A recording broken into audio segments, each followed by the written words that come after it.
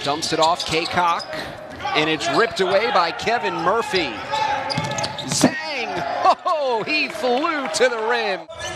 Ignite checks into this game, 7 and 8 on the season. Fanbo Zeng knocks it down from deep. But just impacts the game on both ends. Had a huge shot the other night against Salt Lake. Woo, what a nice pass. pass. Michael Foster to Fanbo Zeng.